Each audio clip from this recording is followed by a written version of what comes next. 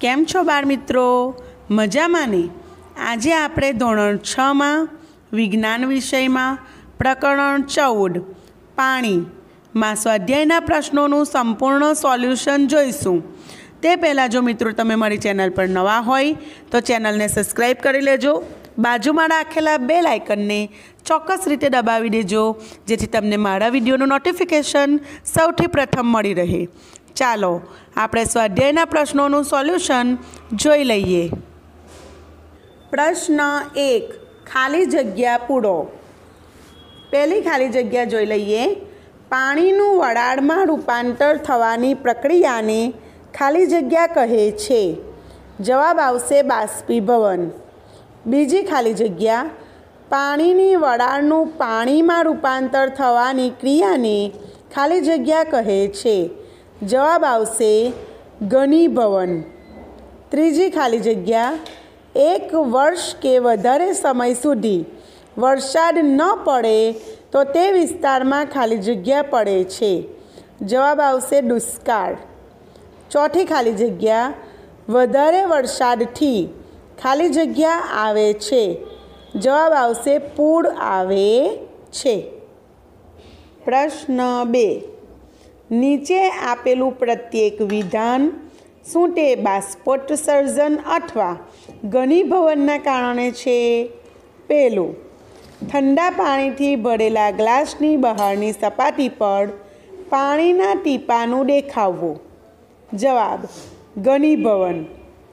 બીજું વાક્ય, ભીના કપડા પર સ્ત્રી ફેરવવાથી વરાળ નીકળવી. જવાબ, બાષ્પીભવન. ત્રીજું વાક્ય, શિયાળામાં સવારે ધુમ્મસનું દેખાવું. જવાબ ગનીભવન ચોથું વાક્ય, ભીના કપડાથી લૂછવામાં આવેલું બ્લેકબોર્ડ થોડા સમયમાં સુકાઈ જાય છે. બાષ્પીભવન. પાંચમું, ગરમ સળિયા પર પાણી છાંટવાથી વરાળ ઉત્પન્ન થવી. જવાબ, બાષ્પીભવન. પ્રશ્ન ત્રણ. નીચેના વાક્ય ખરા છે કે ખોટા? તે કહો. પહેલું, હવામાં પાણીની વરાળ માત્ર ચોમાસામાં જ હાજર હોય છે. ખોટું. બીજું, પાણી મહાસાગરો, નદીઓ તથા સરોવરોમાંથી બાષ્પીભવન પામે છે. પરંતુ જમીન પરથી બાષ્પીભવન પામતું નથી. ખોટું વાક્ય છે. ત્રીજું પાણીનું તેની બાષ્પમાં રૂપાંતર થવું. તે બાષ્પીભવન તરીકે ઓળખાય છે. ખરું. ચોથું, પાણીનું બાષ્પીભવન માત્ર સૂર્યપ્રકાશમાં જ થાય છે. ખોટું. પાંચમું, હવાની ઉપરની તરફ જ્યાં વધુ ઠંડક હોય છે, ત્યાં પાણીની વરાળ ઘનીભવન થઈને નાની નાની જલકણિકાઓ બનાવે છે. ખરું વાક્ય છે, સાચું વાક્ય છે. પ્રશ્ન ચાર. માની લો કે તમે તમારા સ્કૂલના યુનિફોર્મને વરસાદની ઋતુમાં ઝડપી સૂકવવા માંગો છો, તો શું તેને સગડીની નજીક અથવા હીતરની નજીક ફેલાવવાથી આ કાર્યમાં સહાયતા મળશે? જવાબ, હા. સ્કૂલના યુનિફોર્મને ઝડપથી સૂકવવા માટે સગડીની નજીક કે હીટરની નજીક ફેલાવવાથી ગરમીને લીધે બાષ્પીભવનની ક્રિયા ઝડપથી થતાં ભીના યુનિફોર્મમાંથી પાણી ઝડપથી ઉડી જાય છે. પરિણામે યુનિફોર્મ થોડીવારમાં સુકાઈ જાય છે. તેથી વરસાદની ઋતુમાં યુનિફોર્મ ઝડપથી સૂકવવા તેને સગડીની નજીક અથવા હીટરની નજીક ફેલાવવો જોઈએ. પ્રશ્ન પાંચ. એક પાણીની ઠંડી બોટલ રેફ્રિજરેટરમાંથી બહાર કાઢો.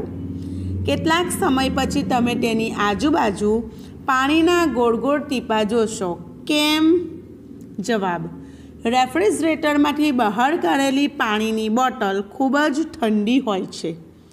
બોટલની આજુબાજુની હવા ઠંડી બોટલને સ્પર્શતા. હવામાંનો ભેજ ઠંડો પડીને ઘનીભવન થતાં. પાણીના નાના નાના ટીપા રૂપે બાજે છે. આથી, બોટલની આજુબાજુ બહારની સપાટી પર પાણીના ગોળ ગોળ ટીપા દેખાય છે. પ્રશ્ન છ.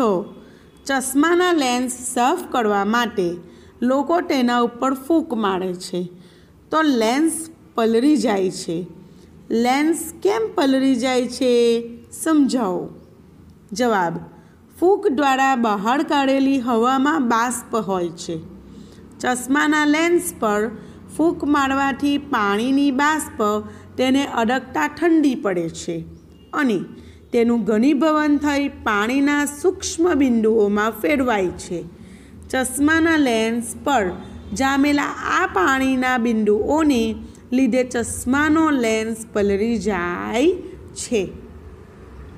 પ્રશ્ન સાત. વાદળ કેવી રીતે બને છે? જવાબ, સૂર્યની ગરમીને કારણે દરિયાના પાણીનું અને બીજા અન્ય જળાશયોના પાણીનું સતત બાષ્પમાં રૂપાંતર થયા કરે છે. પાણીની બાષ્પ હલકી હોવાથી આકાશમાં ઊંચે ચડે છે. જેમ જેમ બાષ્પ ઉપર જાય છે, તેમ તે ઠંડી પડતી જાય છે. કોઈ ચોક્કસ ઊંચાઈએ બાષ્પ એટલી ઠંડી થઈ જાય છે કે ઘનીભવન પામી પાણીના નાના નાના ટીપા, એટલે કે જળ કણિકાઓ બને છે. આ નાની જળ કણિકાઓ હવામાં તળે છે, જે વાદળ સ્વરૂપે આપણને આકાશમાં દેખાય છે. પ્રશ્ન આઠ. દુકાળ ક્યારે પડે છે અથવા દુષ્કાળ ક્યારે પડે છે? જવાબ. જ્યારે કોઈ વિસ્તારમાં લાંબા સમય સુધી વરસાદ પડે નહીં કે ખૂબ જ ઓછો વરસાદ પડે, તો ખેતરમાં પાક ઉગી શકે નહીં. અને તેથી અનાજ અને પાણીની અછત વર્તાય છે. અને તે વિસ્તારમાં દુષ્કાળ પડ્યો કહેવાય. વૈજ્ઞાનિક કારણો આપી સમજાવો. એક, કાચના પ્યાલામાં બરફ ભરેલો હોય ત્યારે તેની બહારની સપાટી પર પાણીના ટીપા બાજે છે. જવાબ, કાચના પ્યાલામાં બરફ ભરવાથી પ્યાલાની બહારની સપાટી ઠંડી પડે છે. હવામાં પાણીની બાષ્પ રહેલી છે.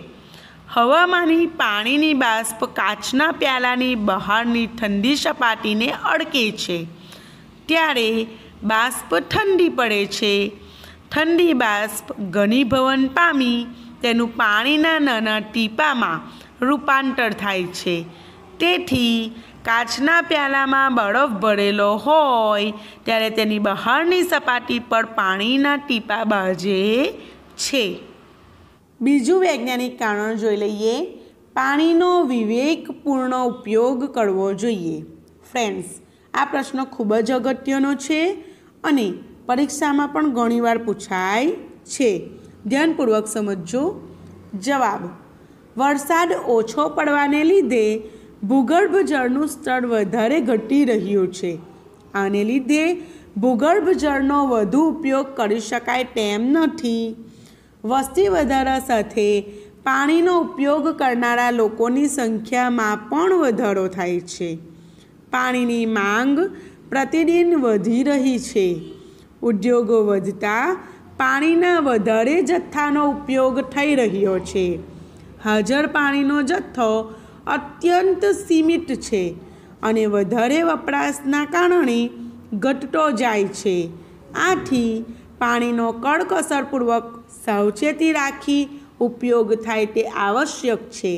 તેથી પાણીનો વિવેકપૂર્ણ ઉપયોગ કરવો જોઈએ. ફ્રેન્ડ્સ આ પાઠ ખૂબ જ સરળ છે. એના પ્રશ્નોના જવાબો પણ ખૂબ સરળ છે. મને આશા છે તમને સમજાઈ ગયા હશે. વીડિયો ગમ્યું હોય તો લાઈક કરજો. અને હા, ચેનલને સબસ્ક્રાઈબ ના કરી હોય તો સબસ્ક્રાઈબ કરી લેજો અને તમારા ફ્રેન્ડ્સ સાથે વિડીયોને જરૂરથી શેર કરજો. ફરી મળીશું. આવજો.